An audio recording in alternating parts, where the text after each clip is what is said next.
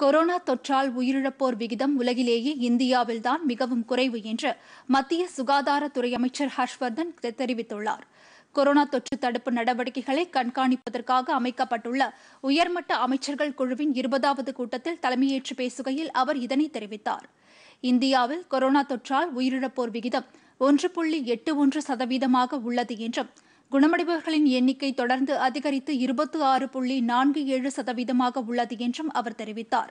நாட்டின் சுகாதார கட்டமைப்பு வெகுவாக வலுப்படுத்தப்பட்டுள்ளது என்று குறிப்பிட்ட அமைச்சர் பூஜ்ஜியம் புள்ளி இரண்டு ஒன்பது சதவீத நோயாளிகளே செயற்கை சுவாச குழாய் பொருத்தும் நிலையில் உள்ளனர் என்றும் அவர் கூறினார்.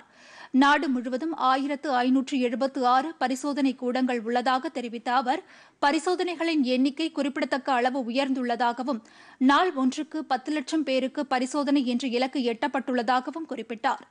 விரைவில் தொடங்கவிருக்கும் பண்டிகை காலங்கள் குறித்து குழுவில் இடம்பெற்றுள்ள அமைச்சர்கள் அக்கறையுடன் விவாதித்து கொரோனா சூழ்நிலைக்கு ஏற்றவாறு பாதுகாப்பான விதிமுறைகளை கடைபிடிக்க வேண்டும் என்றும் அமைச்சர் ஹர்ஷ்வர்தன் அறிவுறுத்தினார். இந்த கூட்டத்தில் மத்திய அமைச்சர்கள் ஜெய்சங்கர் ஹர்தீப் சிங் பூரி மன்சுக்லால் மாளவியா அஸ்வினி குமார் சௌபே நித்யானந்த ராய் மற்றும் நித்தி ஆயோக் உறுப்பினர் வினோத்பால் ஆகியோர் பங்கேற்றனர்.